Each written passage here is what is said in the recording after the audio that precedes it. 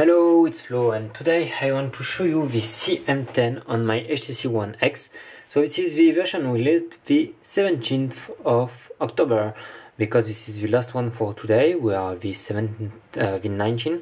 Okay, uh, so we get this version there and this is an Android version Jelly Bean with 4.1.2 and this is Cyanogen mode based on the last one, this 17th November. Okay, so this custom ROM uh, has new updated as sync with the last CM uh, update. There is also the G apps already installed. We can see Gmail, Google. Uh, we have also the uh, navigation, the Play Store, Play Music, uh, the voice search, and I think this is all. We have also the YouTube and Maps from uh, Google. Okay, so VG Apps is uh, already installed on the custom ROM. You just have to install it. We also have a good application. This is the file manager already installed and just have to flash the custom ROM without any G apps. And this is so cool to get this Explorer on VCM10 just there. We have the camera working there with the panorama mode. You can see maybe uh, how this camera is just so cool. We have to focus by pressing uh, on the screen.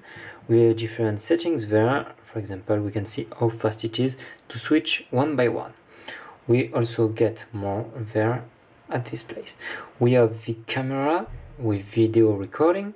We can just uh, switch by 720 to full HD with the uh, 180 there. We get also the panorama mode and let's go to test if it works very well. So we get it and we have to test it. Let's go. So you can maybe see but it don't works very well. Maybe try again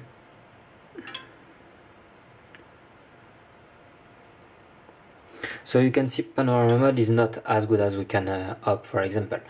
But everything else is working very good and we get the gallery there for example VCM10 uh, with different uh, with our gallery this is the 3G gallery uh, we get the messaging with the keyboard this is this keyboard you know the CM keyboard is just amazing.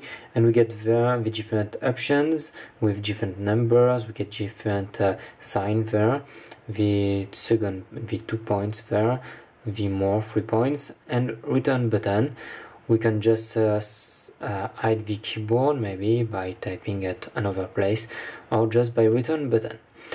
We get also the clock just there we know this is that. We get the lock screen with the um, lock screen there with uh, just the clock if we get it. To show more we get it and return just to keep uh, back to our screen. We have also the lock screen with Google Now, camera and un uh, unlock the screen. On system settings we get different things as the launcher interface. We have the home screen settings, different things there. We also get the tutorial settings, join with apps, and general settings. Okay, I can't show you just there, but I have the auto rotate uh, screen just activate there. On the drawer, we can just uh, say that on long press on apps there, we have uh, the possibility to change by install date and we have also widget there and with long press we have just nothing.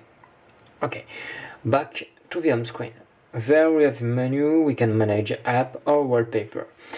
On lock screen settings, we have the screen security, the background for the lock screen, the clock alignment, battery status, owner info. For example, just change it with Flow, Wolf, just there.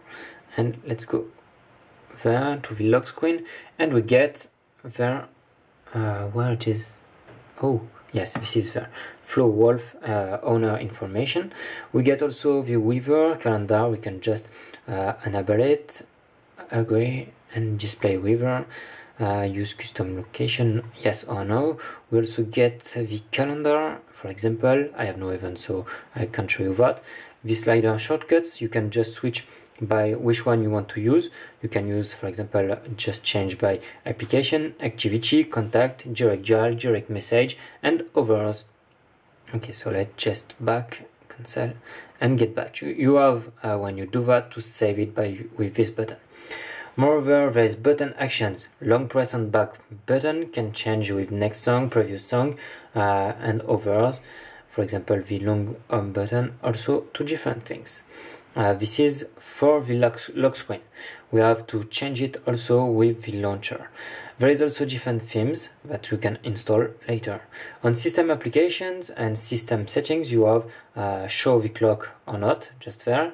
You have APM uh, style you can just change the battery icon statue, the signal style status and show notification count or not you also get notification drawer you can see what you can change excuse me. You have also the wallpaper the font size you can change by uh, huge. For example if you use tablet mode or others you have screenshots for the program menu. This is this one you know.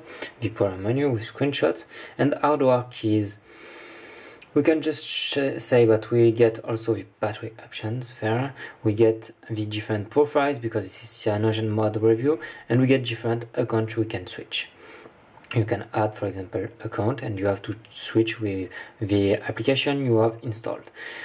I have also to say something about the performance. You have to change CPU governor for example just there I want to thank you to have seen this video. I want to say to you if you like it just thumbs up. And moreover i want to thank all the cyanogen mod team and TripNRaVeR to have created this thread on htc one x. Thanks to have seen this video that was flow